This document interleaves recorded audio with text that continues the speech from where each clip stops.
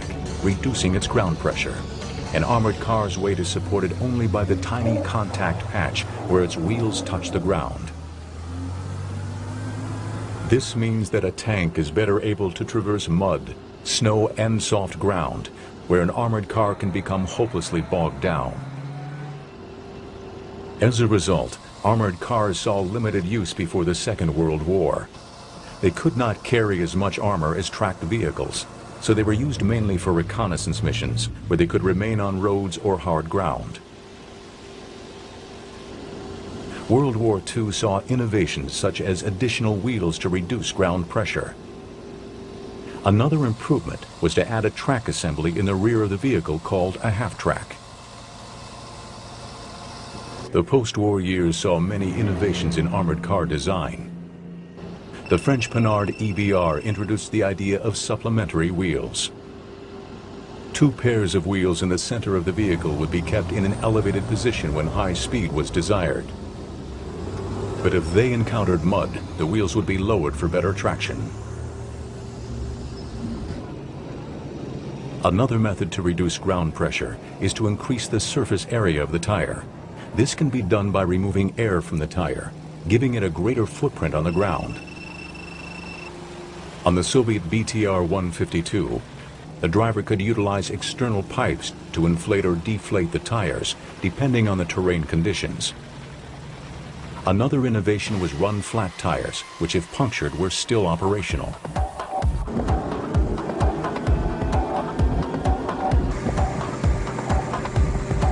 Today's wheeled armored vehicles still have weight limitations and are therefore unable to be as heavily armored as tanks. Nonetheless, their usage has flourished, mostly due to their economy and functionality. Armored cars are widely used in two roles. They are the successors to ancient cavalry, using their speed and mobility to scout ahead of heavy tank forces and to screen the unprotected flanks of large mobile formations.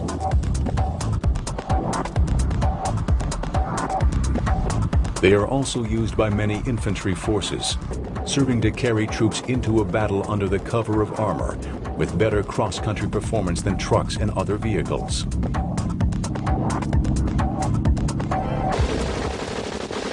The United States has always been one of the largest producers of wheeled armored vehicles. One of the most successful manufacturers is Cadillac Gage, whose Commando series has seen combat throughout the world. The V-150 Commando was used extensively by the Royal Saudi National Guard during the First Gulf War. One instance in which the V-150 was indispensable was during the Battle of Khafji, where the Saudis, initially outnumbered and overrun by Iraqi forces, helped to recapture the town street by street.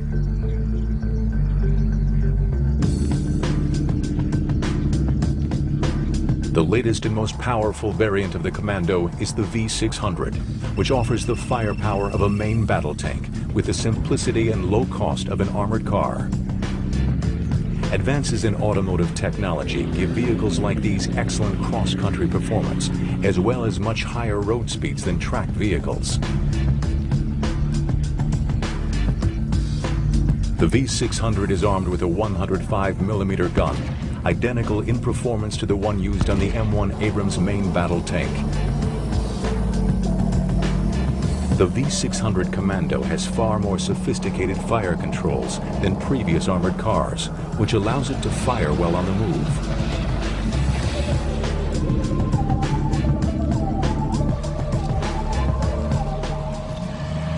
In the 1980s, the U.S. Marine Corps began looking for a light armored vehicle to give their divisions additional mobility. They selected a design that had its origins in Switzerland. The Swiss firm MOWAG developed the Piranha series of wheeled armored vehicles using four, six, or eight wheeled configurations. The Piranha was designed as a state-of-the-art wheeled armored vehicle capable of operating in terrain conditions that would stop many existing wheeled armored vehicles. The Piranhas could be armed with a variety of weapons, ranging from simple machine gun turrets to elaborate turrets with large caliber tank guns. The U.S. Marine Corps selected an eight-wheeled variant of the Piranha family, the LAV-25. It is armed with a 25mm Bushmaster automatic cannon, the same weapon used on the Army's M2 Bradley infantry fighting vehicle. Besides its three-man crew, the LAV-25 can carry an additional six Marines in its rear compartment. It is used for scouting, raiding, and screening operations, where its mobility can best be exploited. The LAV-25 can move in advance of Marine mechanized formations, hunting out weak points in enemy positions. It offers the scouts the advantage of armor protection, as well as its considerable mobility in most terrain.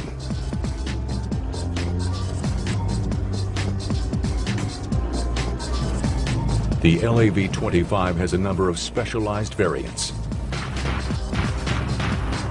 The LAV-AT is a tank hunter fitted with a Hammerhead tow missile launcher for engaging hostile tanks. To provide fire support for the Marine units, there is a special mortar version armed with an 81mm mortar in the rear compartment.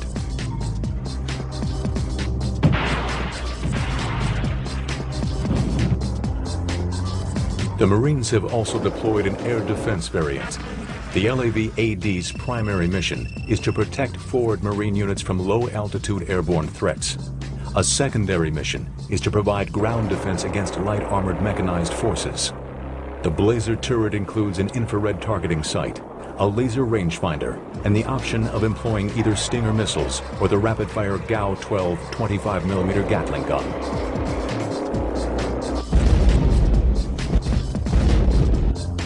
The LAV-C squared is a command vehicle which carries Marine commanders into the battle zone and provides sufficient communication equipment to coordinate their units' actions. The LAV units also have their own recovery vehicles to help repair damaged vehicles.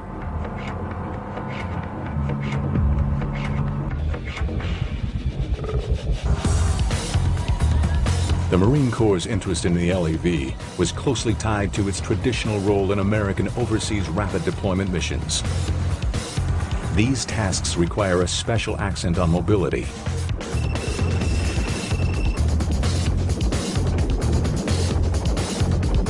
The Marines sought a vehicle light enough to be airlifted, yet armed adequately to have an impact on the modern mechanized battlefield.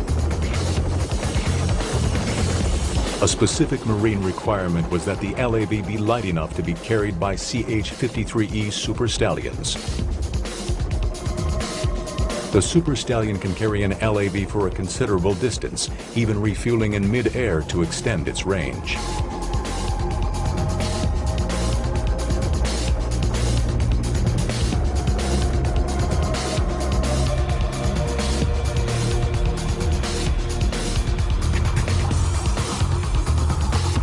The LAV also proved well suited for airdrop missions. It takes an impressive set of parachutes to land a 12-ton LAV safely.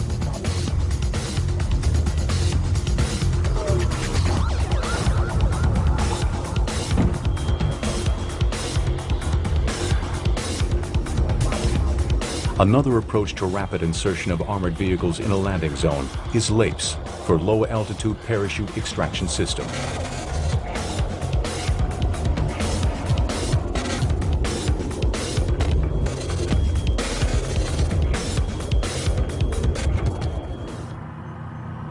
The LAV saw extensive combat during 1991's Operation Desert Storm.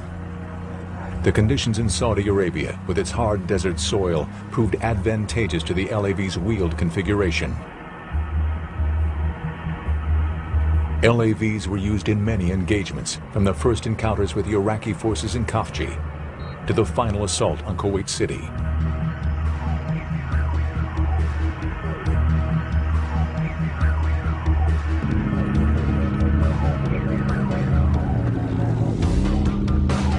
In some armies, the use of wheeled armored vehicles has always been an advantage. A clear example has been the South African Defense Force. For decades, South Africa was involved in conflicts where their forces had to travel great distances with little logistical support. The Ratel infantry fighting vehicle was especially useful during these engagements.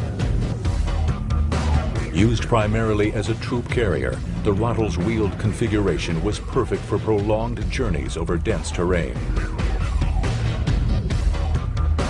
Early South African armored cars saw extensive use in the North African desert campaigns of World War II. In the 1960s, South Africa began production of the Eland armored car, based on the French Panhard AML. These proved to be extremely successful. In a number of skirmishes with Angolan forces, Elands were able to knock out more powerful Soviet-manufactured T-55 tanks by exploiting the speed and mobility of the smaller armored car.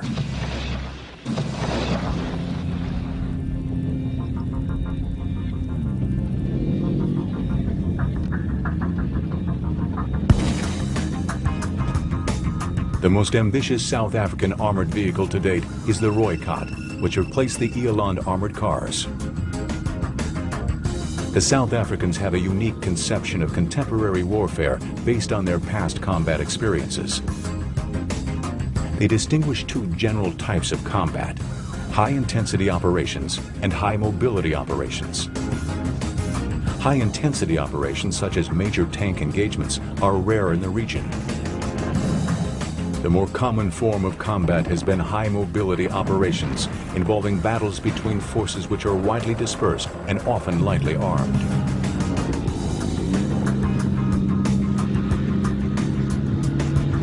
The Rooikat's armament is a stabilized 76mm gun. This is lighter than the guns found on many armored cars. But the South Africans have found that such weapons are more than adequate for the types of enemy vehicles they typically engage. Wars in Africa usually involve formations of light armored vehicles. Heavy tank formations are uncommon. Mines, however, are a constant danger. South African armored vehicles like the Rooikat incorporate special features such as V-shaped armored hulls to help reduce their vulnerability to landmines. They can continue to operate even after one or more wheels have been destroyed. The G6 Rhino is the largest of the South African wheeled armored vehicles. The G6 is one of the few large caliber artillery vehicles to use a wheeled configuration instead of tracks. It is designed to work in concert with the various types of wheeled vehicles used by the South African forces. The G6 is armed with a 155mm 45 caliber gun which can fire projectiles to a distance of over 18 miles.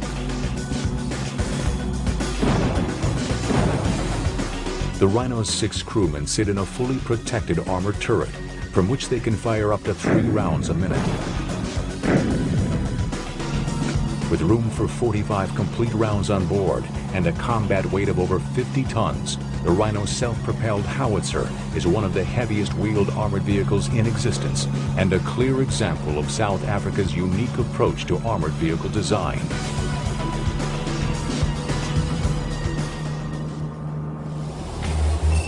In France, the latest in artillery systems also employs a wheeled chassis, but in a more compact and lightweight vehicle. Weighing just under 20 tons, the French César is a lightweight in the ranks of self-propelled artillery systems.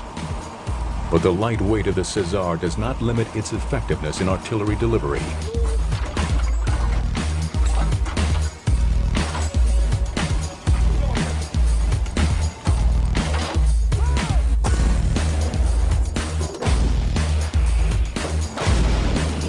Its 155 millimeter 52 caliber gun allows it to strike targets well over 21 miles away.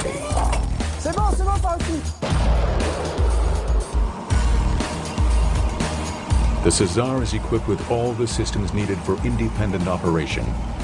An armored cabin to protect its five-man gun crew. An onboard ammunition supply of 18 rounds. An instrumentation for navigation, aiming, and command and control. Its lightweight and compact design make it ideal for rapid deployment forces. It is easily transportable by a C-130.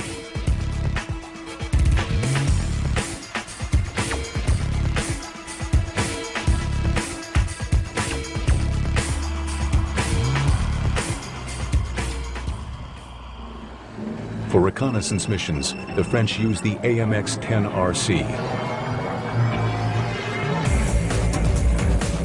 This heavily armed vehicle carries a powerful 105mm gun and a 7.62mm machine gun.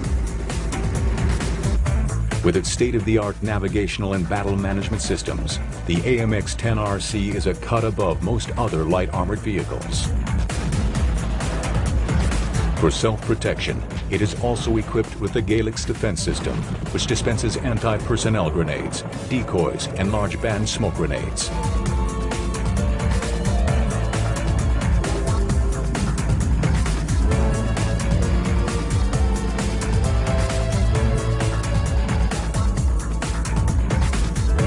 The AMX-10RC entered service with the French Army in 1980 and has been used extensively in combat, including the First Gulf War in Bosnia.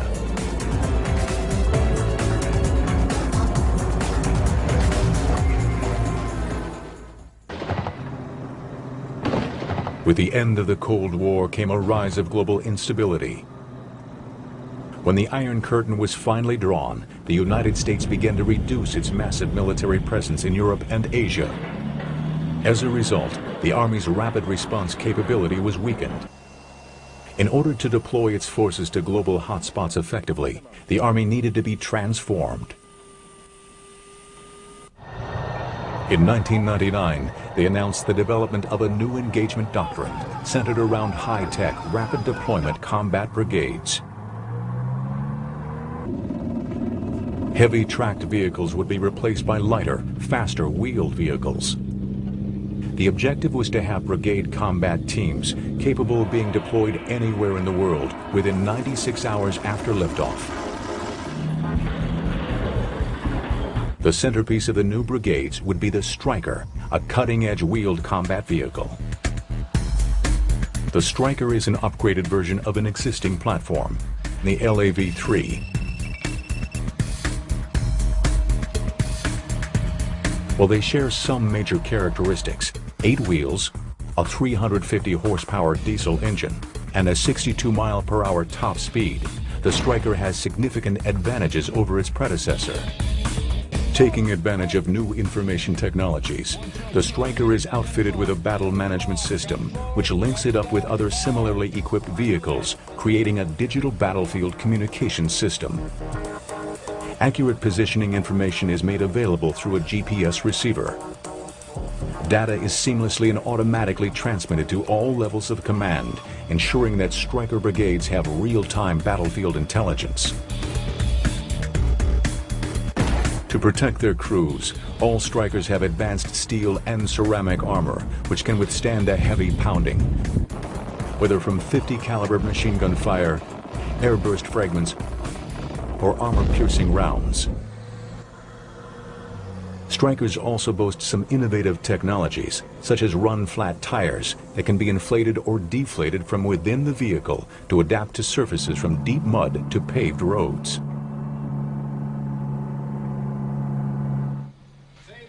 In addition to its defensive capabilities, the Stryker is able to inflict plenty of damage. Its weapons system consists of either a 40mm automatic grenade launcher or a 50 caliber heavy machine gun. A significant advantage of the Stryker family is its interchangeability of essential parts between its many variants. In the Stryker Brigade combat teams, each vehicle will be based on the Stryker design. Of the 10 proposed Stryker variants, the first to enter service is the Stryker infantry carrier vehicle. The second version to be fielded is the 105mm Stryker mobile gun system. The mobile gun system provides direct fire support to infantry during urban operations. It isn't a tank, but it is equipped with the same 105mm cannon used on the M1 Abrams tank. The gun has a 6-second autoloader with an 8-round ready magazine and there are an additional 10 rounds stored in the turret.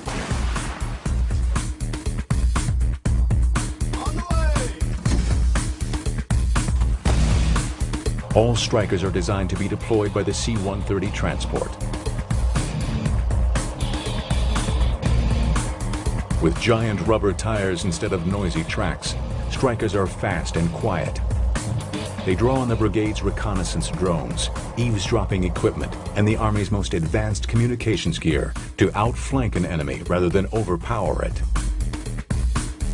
The Army is betting much of its future on the success of this 19-ton wheeled combat vehicle. In 2003, the Stryker made its combat debut in Operation Iraqi Freedom with the Army's first deployment of Stryker Brigade combat teams. The Stryker's advantages are plain to see. Its ability to carry a nine-man infantry squad, the interchangeability of its parts, its firepower, advanced communications, and its ability to be rapidly deployed anywhere in the world. For years to come, these characteristics will help ensure the Stryker's dominance in the war on wheels.